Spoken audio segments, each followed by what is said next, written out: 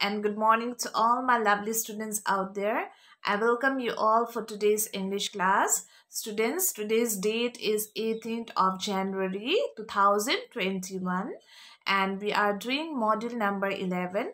Under module number 11, we will be taking up the last topic which is diary entry. Alright, and I hope you still remember students that in our previous term that is term 1 we have done diary entry. So it will just be a recapitulation of what we have learned in our previous term. So what is our learning outcome for today's class? It is that each one of you will be able to know the format. There's a particular format of a diary entry.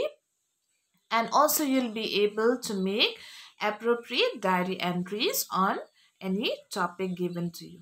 All right students so let's get started so you see people possess diaries, right? And they maintain diaries. So it is basically what? It is basically a diary is a notebook on which you pen down or jot down your emotions, your feelings.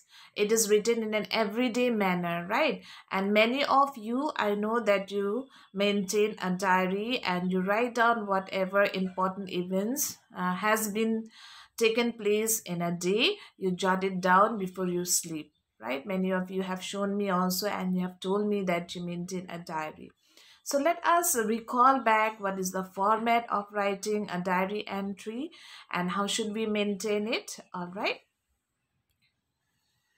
So if in a plain paper, you are going to write down a format, so the diary entry format will be like this day and date.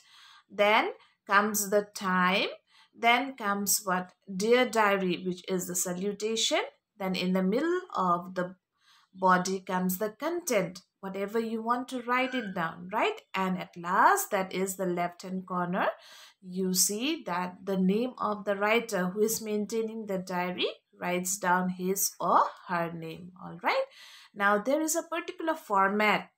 As you know that in a formal writing you have different formats no? For formal writing letter writing you have a format. For dialogue writing you have a format. So for maintaining a diary also you have a format. So it starts from the top left corner with the date day time and then particularly space given then comes the salutation as Dear Diary.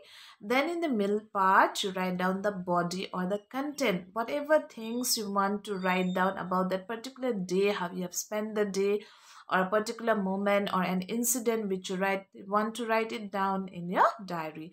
And at the left hand bottom corner, you write down your name. Alright students, I hope you still remember it. So let us see an example of this so that it will help you for better understanding. So before going to that, let us see certain important criteria for writing a proper diary entry, for making a proper diary entry.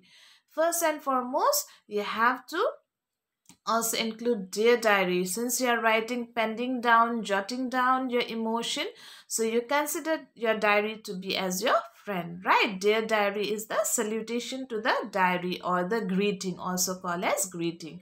And diary uh, writing should be written in the first person. First person that is i if it is singular whatever has happened to me what i have experienced or if it is plural first person plural is we if you have experienced something together with your family or friends, you write it down. Not they, not she, not the second and third person that is you, he, she, they. You are not going to use that because you are pending down. That means you are writing down your own emotions, your own feelings. So what you have to do, you have to always write it in the first person. All right. And it is written in the past tense. Why in the past tense? Because you have already experienced it and then you are writing it down has an introduction to set the scene. There are so many incidences and so many things happen in a 24 hour time spent in a particular day. But in a diary entry, you're not going to write down everything, right? So you are going to write about a particular thing so when you write it about a particular incident or something great has happened, something sad has happened, you give a small introduction that today was the happiest day of my life when you start writing it or today was the saddest day of my life, right? Or today was the most exciting, most surprising day of my life. So you give an introduction where in the readers can get a glimpse of what you want to write it down in your diary and talks about emotions, opinions, thoughts, and feelings. So basically, it is what it is your personal diary, you know, where you write down your thoughts and emotions and feelings. So whenever you write it down, you can express it in your diary. So uses time conjunctions to show when things happen. You can use conjunctions, join it to show what happened and during which time and writes about events that are important to the writer. So basically, as I have told you, you cannot write everything down right in a diary it's a small thing and in a day you come across so many people you come across so many different what uh, incidents situations you cannot jot down everything in your diary. So you write down only the important points in your diary which is striking which is you feel is very important as a writer. You want to write it down in your diary. And then please write at least six sentences. So in a diary at least you need to write six sentences. All right? So that is all about the different guidelines or a success criteria for writing a diary. So let's see an example. So here is the question and a proper format also. Imagine that you are the secretary of the welfare organization of your school. Under your leadership, the organization was able to collect a substantial amount for the old age home Help Me Express your sense of pride and happiness in the form of a diary entry. So you just imagine that the your school has a welfare organization which is called as help me for an old age and you are the secretary just imagine you are the secretary and you have helped in to collect a substantial good amount of money for the old age. So you are very happy that day no you wanted to help the old people and you have collected an amount of sum of money which will help the old people. So you feel a sense of pride.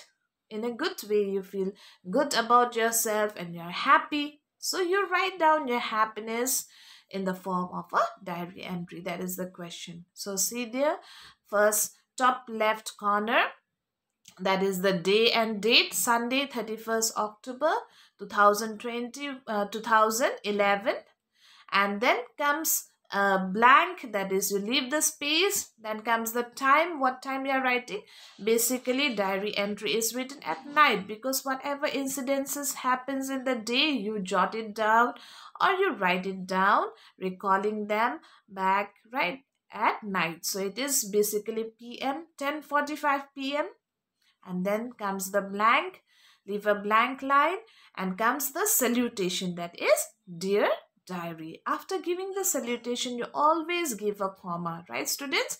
That is a comma is given there dear diary then comma then comes a blank line that is space you give space and comes there the main body or the content which is given in the question that you are very happy you feel a sense of pride and happiness since you are a secretary of the organization of your school which is helping an old age home called help me. So see i am proud to be a part of the welfare organization of my school as i always wanted to help the old people. Through various activities we collected a sum of more uh, a sum of 2.3 lakhs. So here you have collected a sum of 2.3 lakhs.